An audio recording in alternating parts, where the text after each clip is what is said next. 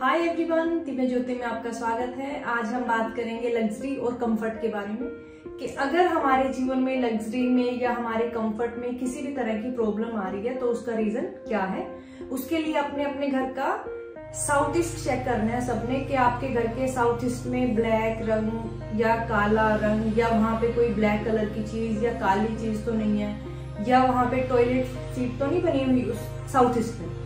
अगर वहाँ पे टॉयलेट सीट है, अगर आप उसको हटवा सकते हो तो बहुत अच्छा अगर हटवा नहीं सकते तो रेड कलर की टेप से हम उसको ब्लॉक कर सकते हैं, जिससे वो अपना नेगेटिव इम्पैक्ट नहीं देगी।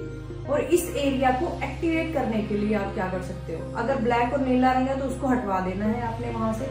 नॉर्मल कलर आप कोई भी करवा सकते हो। वैसे मैं सबको रेकमेंड करती हूँ कि आप कंप्लीट घर में ऑफ़ व्हाइट या व्हाइट ये कलर कराएँ इन कलर्स में किसी भी तरह की नेगेटिव एनर्जी काम नहीं करती।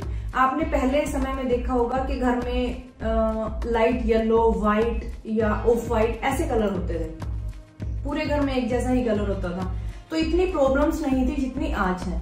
तो मैं सबको यही रेकमेंड करती हूँ कि आप नॉर्मल एक ऐसा कलर रखें जिससे कुछ भी नेगेटिव इम्पैक्ट उसका ना आए।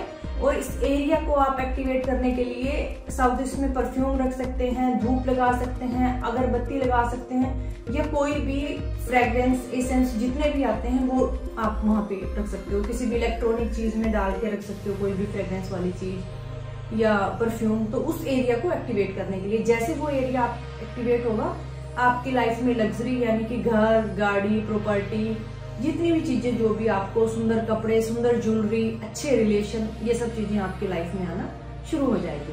अगर आपको वीडियो अच्छी लगी हो तो चैनल को सब्सक्राइब करें वीडियो को लाइक करें शेयर करें कमेंट करें। थैंक यू सो मच जल्दी मिलेंगे नेक्स्ट वीडियो के साथ।